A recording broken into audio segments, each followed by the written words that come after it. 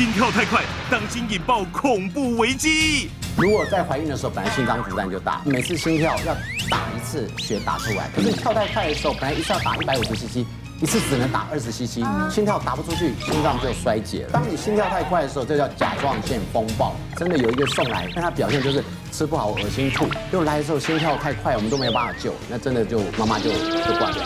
今晚十点，东升综合台三十二频道，医师好辣。